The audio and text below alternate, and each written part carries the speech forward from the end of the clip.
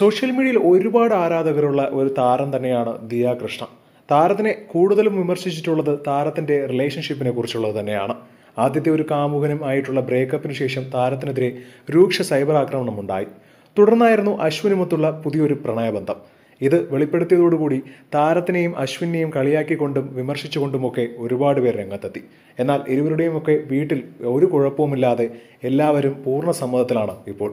ഉടൻ തന്നെ വിവാഹിതയാവും എന്നും ദിയാകൃഷ്ണ തന്നെ നേരത്തെ അഭിമുഖങ്ങളിൽ പറഞ്ഞിരുന്നു. ഇപ്പോഴിതാ വാലന്റൈൻസ് ഡേക്ക് മുന്നോടിയായി ഇപ്പോൾ ദിയ സർപ്രൈസ് ഗിഫ്റ്റുമായി അശ്വിന്റെ വീട്ടിലേക്ക് ചെന്ന വീഡിയോ സമൂഹ മാധ്യമങ്ങളിൽ ഏറെ വൈറലായിക്കൊണ്ടിരിക്കുകയാണ്.